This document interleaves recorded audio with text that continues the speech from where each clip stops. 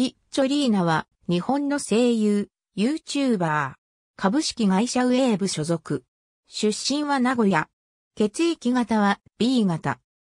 もともとはピアノの練習教本、リトルピシュナと名乗っていたが、ややこしすぎたため、誰にも覚えてもらえず、ピッチョリーナと文字って覚えられて、そのまま、ピッチョリーナと名乗るようになった。愛車は、ホンダのリトルカブの赤色。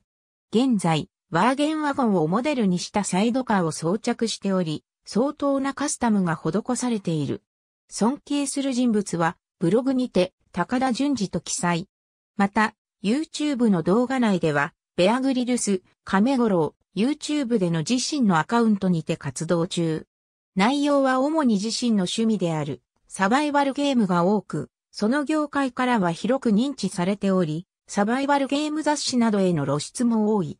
また、マックサカンやランマルポムポ、ムタイプアルファなどとのコラボ企画も行っている。その他には、同じアカウント内で、走れ、ピッチョリーナにて、自身の愛車、赤いリトルカブに乗って、ツーリングやキャンプに行く動画を投稿している。キャンプやツーリング動画内では、完全に一人での自撮りにもかかわらず、道の駅や観光地などで堂々とレポートしている。